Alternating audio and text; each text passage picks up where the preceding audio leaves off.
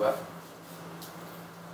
Uh, sharing saya kali ini mau uh, membahas tentang pengertian dari peraturan dan tips bekerja nyaman. Tips. Jadi uh, peraturan itu uh, peraturan adalah patokan uh, patokan yang dibuat oleh suatu organisasi atau yang dibuat oleh perusahaan untuk membatasi tingkah laku seseorang.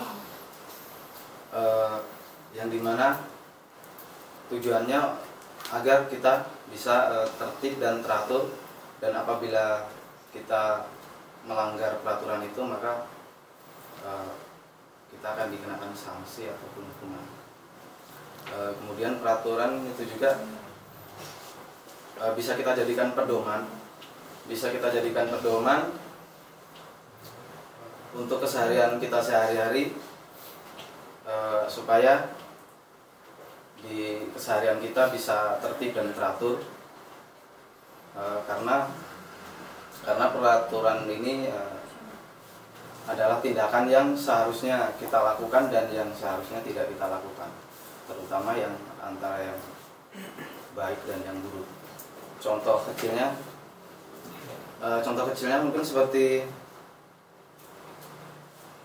e, beberapa minggu terakhir beberapa minggu terakhir e, kita terutama yang tinggal di sini bisa dibilang kita melanggar sebuah peraturan e, melanggar sebuah peraturan yang seharusnya tidak kita lakukan tapi kita lakukan.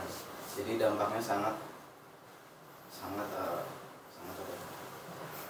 jadi dampaknya sangat sangat buruk lah e, contohnya contoh gampangnya contoh simpelnya. E, peraturan di sebuah lingkungan di lingkungan kita.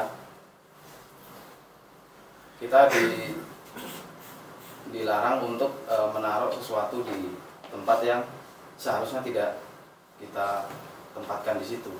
Jadi dampaknya ya sangat buruk buat kita. Kita dapat suatu teguran terus kalau kita kita mematuhi peraturan itu kan dampaknya sangat baik buat kita. Jadi selain tempat itu bersih kita juga tidak dapat teguran uh, dari perbuatan kita itu. Jadi sama juga seperti di uh, di pekerjaan kita ini ada juga yang namanya uh, eh, SOP ya standar operasional prosedur yang sudah ditetapkan oleh perusahaan yang di mana uh, kalau kita uh, melanggar SOP itu maka kita harus sudah pasti kita dikenakan suatu, suatu uh, sanksi atau hukuman yang sudah ditetapkan jadi ada contohnya gampangnya seperti uh, peraturan absensi. Jadi kalau kita kalau kita mematuhi uh, absensi itu peraturan itu maka kita akan dapat, kita akan dapat suatu bonus yang sudah ditetapkan itu. Tapi kalau kita sebaliknya melanggar maka kita akan uh, ya akan ada resikonya sendiri jadi mungkin uh, intinya intinya dari dari dari peraturan ini uh, tanpa kita sadari ternyata uh, di dalam suatu pekerjaan supaya kita uh, selain bisa nyaman kita bekerja uh, menurut saya cuma satu yaitu menaati sebuah peraturan.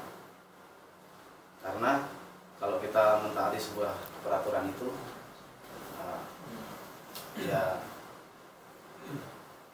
kita akan nyaman aja bisa lontong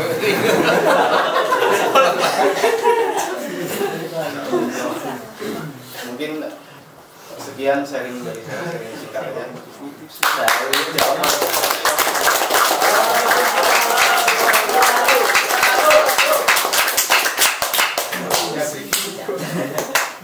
Eh, kita masuk ke. Hilir.